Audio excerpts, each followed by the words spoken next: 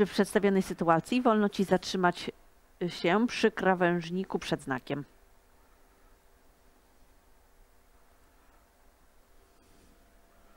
za znakiem już byśmy mogli. Przed znakiem, to co Państwu starałem się zwrócić tak dużą uwagę na te strzałeczki. Jeżeli jest znak zakaz zatrzymywania plus strzałeczka, która nam pokazuje, że obowiązuje do znaku.